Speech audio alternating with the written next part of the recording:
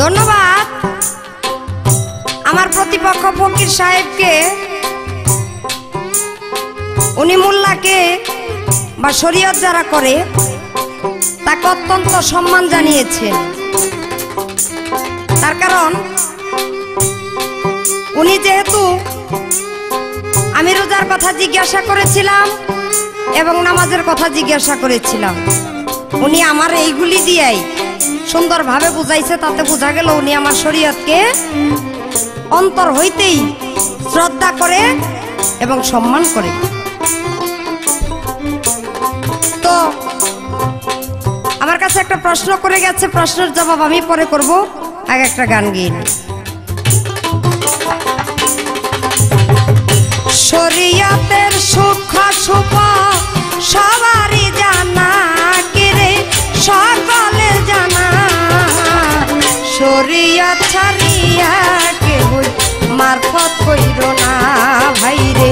শরীয়ত ছাড়িয়া কেউ মারফত কইর না।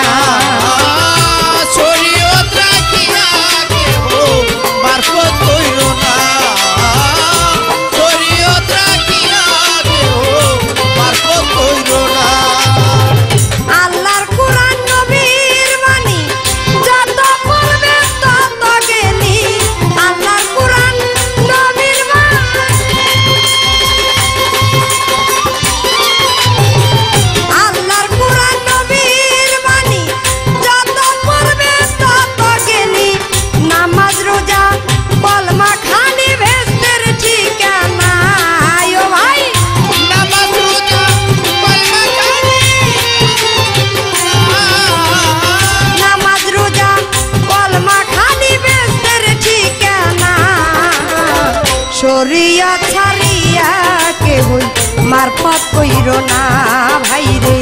সরিয়া ছাড়িয়া কেবল মারফত কইর না। শরীয়ত রাখিয়া কেহ মারফত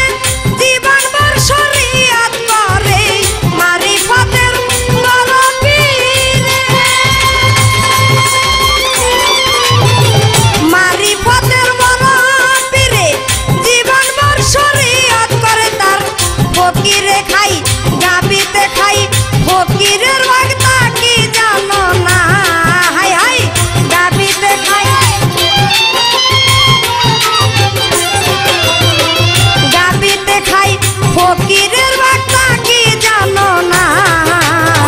সরিয়া ছাড়িয়া কে হই মারফত কইর না ভাইরে সরিয়া ছাড়িয়া কে হই মারফত কইর না।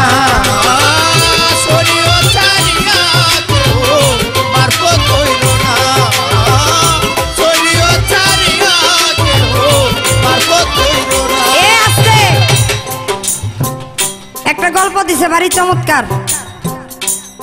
মানে ওই মোল্লা গৌয়াজ নিয়ে বলে। মানে প্রেমিকারে দেখে মোল্লাই বলে ওয়াজ করে। কই সবাই যাইতে যাইতে পিছলাই গেছে গা, এখন তুমি আর আমি এমনিতেই যামগা। আপনার একটা ভালো ফকির আমি ভাবছিলাম। যে আজকে শরীয়তকে, মোল্লাকে সম্মান করে, শ্রদ্ধা করে আপনি গান করবেন। এই জগতের সব ফকির আর আপনি এক না। কিন্তু আপনার মুখ দিয়ে এই কথাটা আপনি বললেন কীভাবে? হ্যাঁ? আপনি কীভাবে বললেন? এইটা আপনার কাছ থেকে কখনোই আমি আশা করিনি।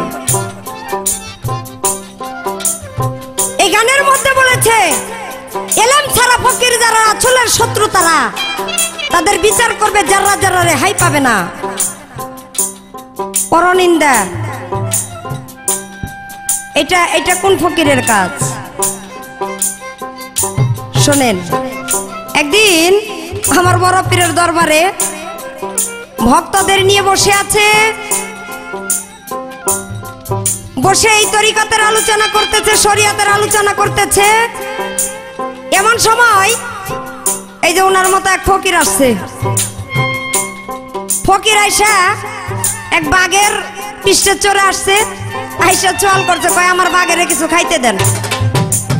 মানে এই কথা যখন বলছে, বড় পীর চাইয়া দেখে, এই তো ভালো ফকির না। ও তো কেরামতি শিখাইছে, ও তো ভণ্ড ফকির। তো এই ভণ্ড ফকিরের, এই ভণ্ডামি দেখে বড় পীরের একটা মরা গাভী ছিল, সকালবেলায় এই গাভীটা মরে গিয়েছে। আমার বড় পীর সাদা তাংলি দিয়ে ইশারা করলেন আর ওই মরা গাভীটা জেন্দা হইয়া ওই ভণ্ড ফকিরের বাঘের গালের মধ্যে মটকাইয়া একেবারে চিবাইয়া খাইয়া শেষ করে দিল। এলেম নিয়ে আমার বড় পীর যেই ফকিরি করছে, ওই ফকিরি করেন, আমি আমি আগেই তো আপনাকে সিগন্যাল দিয়েছি। এই ফকিরি করলে আপনার সাথে আমার কোনো দ্বন্দ্ব নাই। কিন্তু ওই যে মানে একটু কেরামতি শিখে কুফুরি শিখে ওইটা নিয়ে যে আসলেই যারা ফকির যারা শরিয়াতকে মেনে পাঞ্জেগানা আদায় করে যারা ফকিরি করে তাদের সামনে গিয়ে এই বন্যামি চলে না রে ভাই। এগুলি লক্ষ্য রাখতে হবে। আপনি যে কথা বললেন এটা আমি আশা করিনি আপনার কাছ থেকে।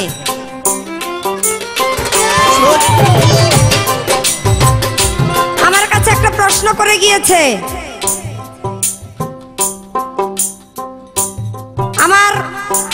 আল্লাহর তরফ থেকে ওহি আসলো জিব্রাইল মারফত আমার রাসূলের কাছে। একটা এলেম নিয়ে আসলো। কিন্তু এসেই কিছুক্ষণ পর ওই এলেমটা আমার রাসূলের কাছে দিলেন না, ওইটা আবার জিব্রাইল ফিরাইয়া নিয়ে আল্লাহ আল্লাহর কাছে জমা দিলেন।